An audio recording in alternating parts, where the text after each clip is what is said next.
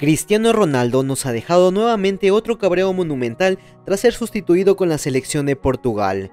Corría el minuto 65 cuando Fernando Santos, técnico de Portugal, realizaba tres cambios. Uno de ellos era la salida de Cristiano Ronaldo. Todo esto ocurría cuando el partido iba empatado a unos. Las cámaras de televisión enfocaron al uso que justo miraba el cambio y decía unas palabras mientras entregaba la cinta de capitán a Pepe.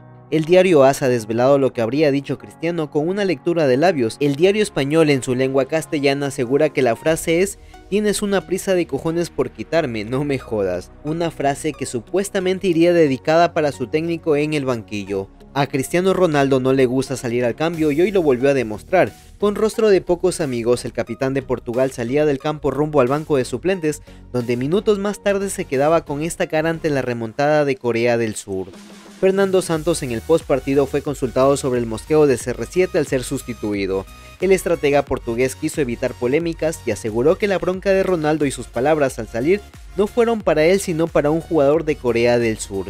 Cristiano se fue molesto porque un jugador coreano lo estaba intentando expulsar y hasta tuvo que intervenir Pepe. Ronaldo también aclaró lo sucedido en el post partido contando lo que pasó al momento de la sustitución.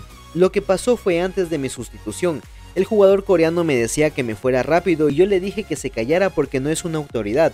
No tiene por qué haber polémica, es el calor del partido. Pase lo que pase, las cosas siempre quedan en la cancha. Lo más importante es que tenemos que estar unidos. De esta manera, Cristiano Ronaldo ha explicado su bronca en el cambio. El cabreo no fue con Fernando Santos, sino con un jugador rival.